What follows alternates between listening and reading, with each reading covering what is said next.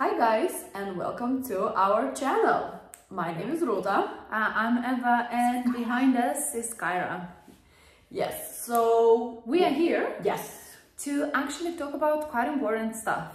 Uh, and that includes biohacking, overall well-being, and Mhm. also not so important stuff like some fun, fun things. stuff.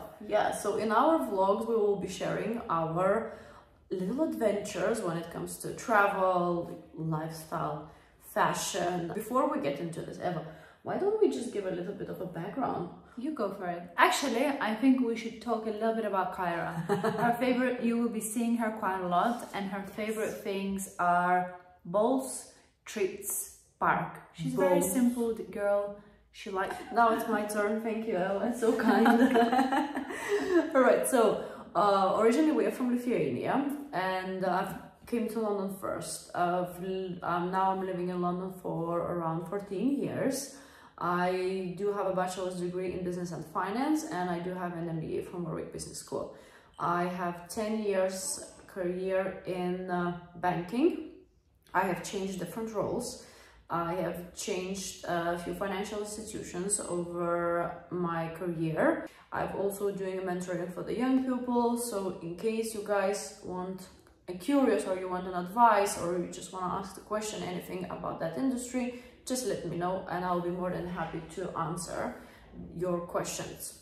Of course, Eva has a slightly different background. Yes, I do have different background, science focused. Um, so when I came to London, I followed Ruta, of course.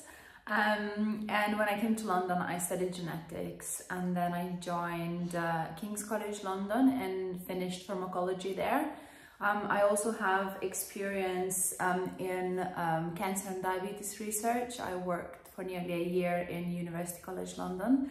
Um, However, recently I've changed uh, career and now I'm in a completely different industry, uh, which is e-commerce. However, we are going to share a lot of biohacking here because this is what we're interested in. This is Eva's passion, okay? So we just have to be honest here. This is But Eva's you are my little lab rabbit, and I keep Rabbit. telling her that things work differently for every single person, and we have you here to share your experience with and I will everyone. because they work, and that's or why. they don't, and then you need to find an alternative. Yes, which is fine, fair enough. But I've done some testing. I implemented a lot of good changes, positive changes into my life, which really helped.